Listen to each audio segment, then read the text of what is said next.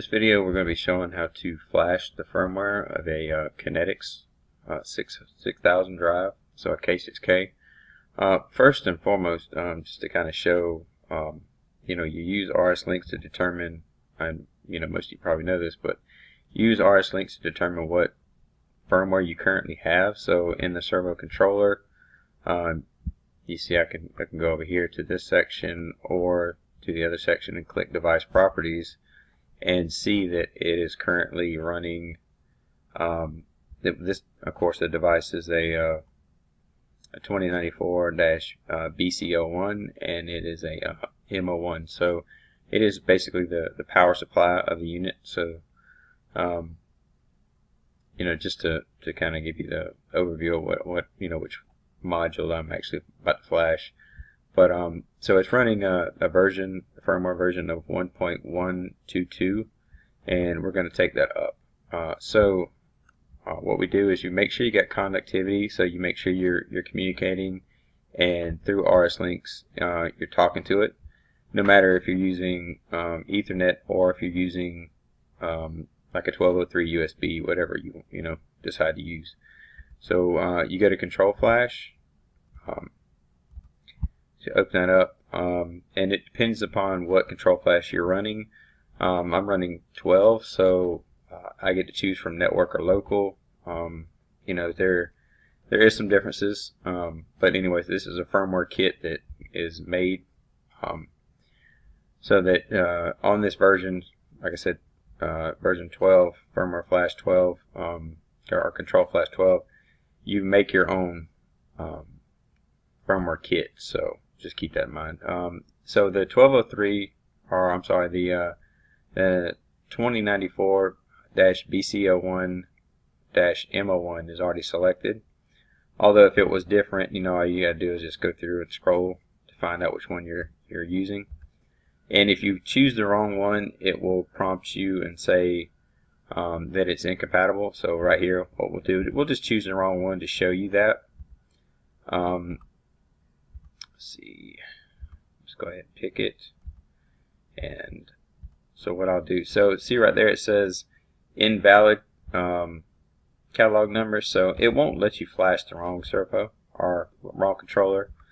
Um, you can try, but it's going to give you the same thing. Uh, so, you know, it just wants to make sure that it's doing the right thing and you're trying to deliver the right thing to it. So, in this case, we're going to go ahead and select it.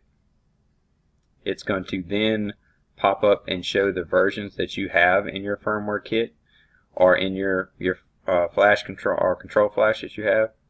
So I can actually show all the versions I have and take it all the way back as far as I want to. There is one thing I'd like to note though.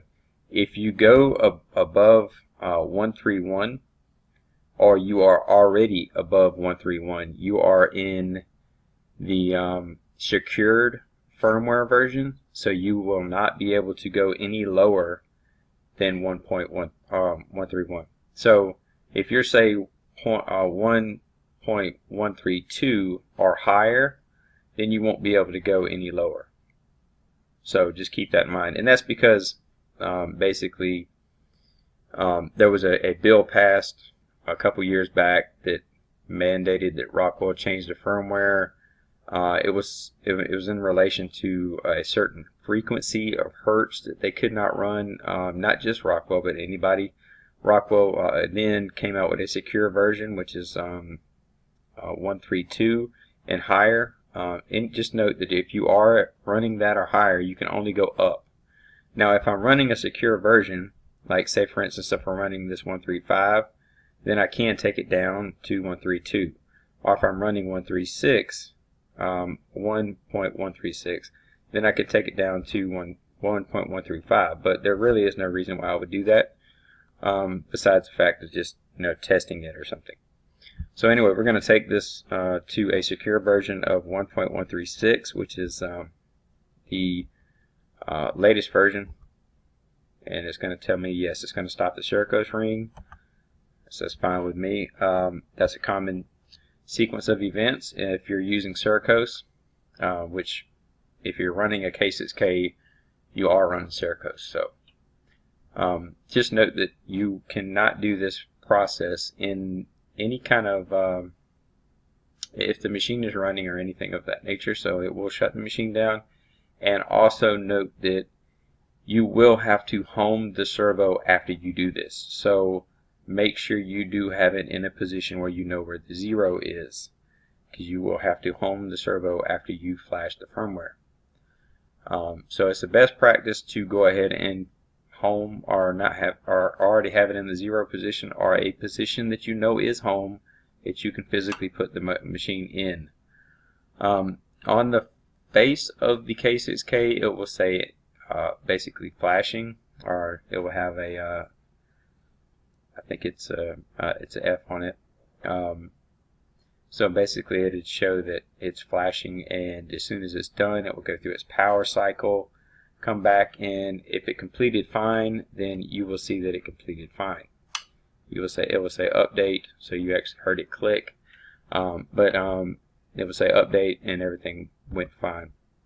So at that point you close control flash. We come back to our controller um, we are still browsing so we come back now let's see let's wait till it so now it's still in, up in, in in its boot up stage so it's it's still not talking to the Sercos card because it's got to go one, two, three, four.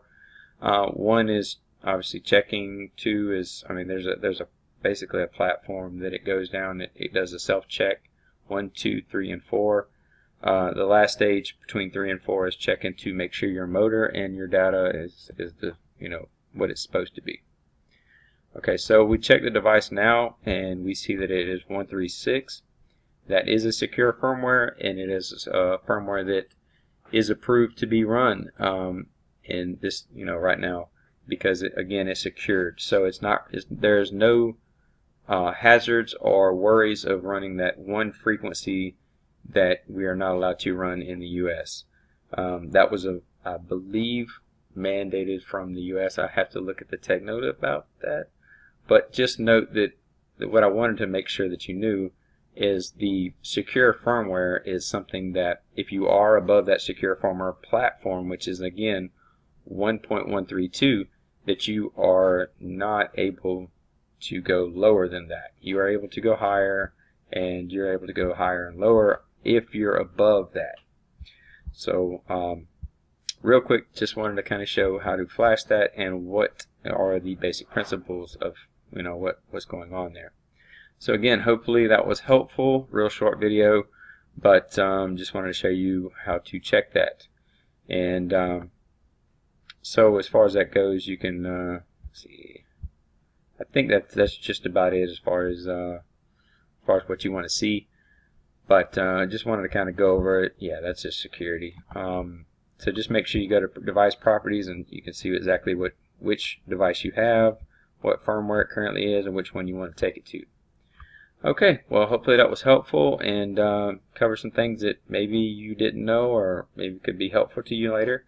And um, again, uh, just leave me a you know a comment or whatever if you find it helpful or if you want to see something else along these lines. And uh, be sure I'll be glad to help. Okay, well I appreciate your time. Thank you.